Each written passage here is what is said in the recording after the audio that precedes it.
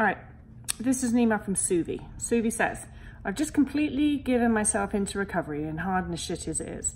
For the first few weeks, I had normal hunger cues and felt satisfied with the amount of food I ate, which I now realise after a week of extreme hunger that it was the amount meant for mice, maybe not even for them. I was also exercising out of joy, the hell I was.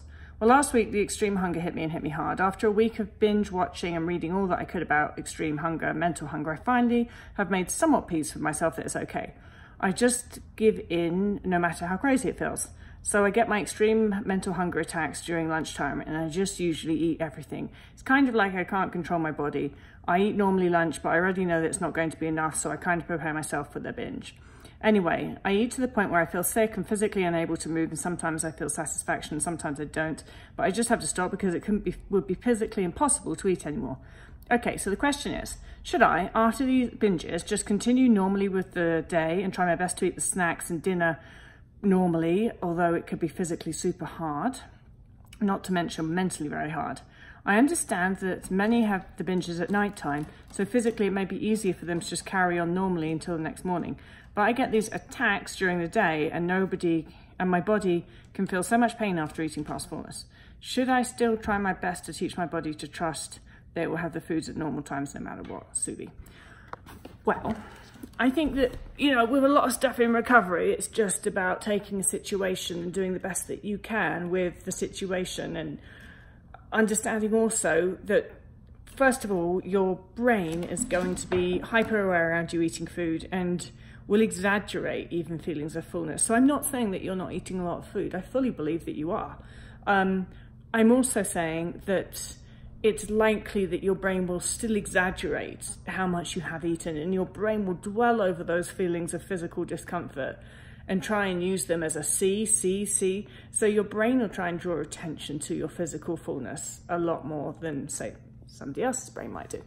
So that's just something to be aware of. You know, don't allow yourself to pander to it. Don't allow yourself to wallow in, oh, I ate so much thoughts. Just be like, oh, I ate a lot of food and I'm full. I just, that's fine. And then try and focus your brain on something else. And as far as, say, if it's lunchtime, you eat a load of food at lunchtime, then yeah, it's highly likely that you'll feel physically full. But it's also highly likely that when it comes to that afternoon snack time, you probably could eat I'm just talking from my experience. And it's even more likely that actually by the time it comes to dinner, you could definitely eat. So if you, you know, you may eat lunchtime to the point where you're physically like, okay, I can't even get anything else in.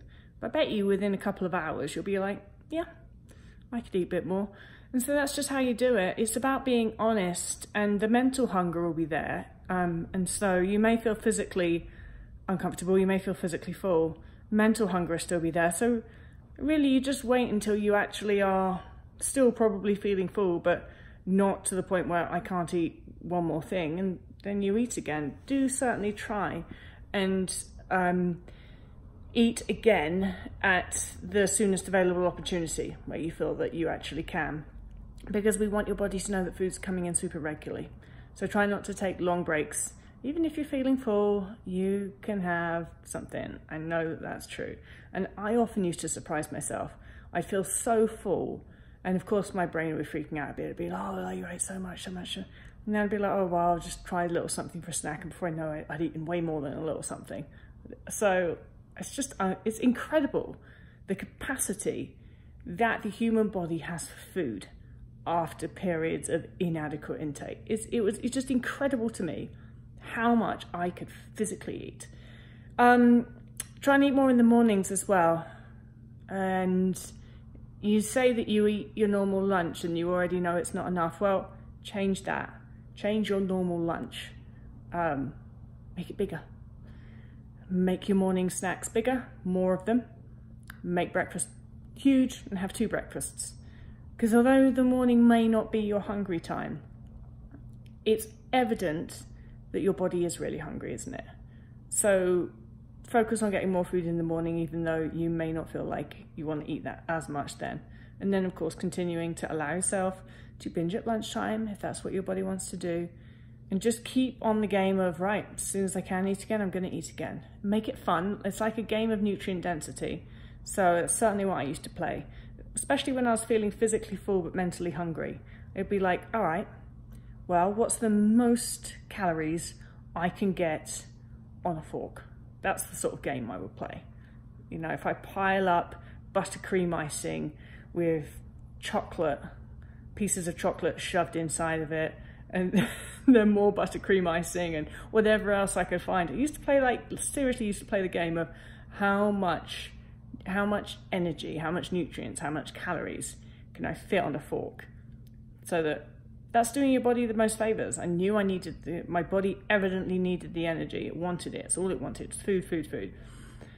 So I turned it into a game of how clever can I get with this? How good can I get at squishing as much energy into the smallest capsule as possible, smallest kind of package. And then how many of those can I eat? So that's what I do. Sounds like you're doing good. I hope you are able to give us an update on how things progress for you. Bye.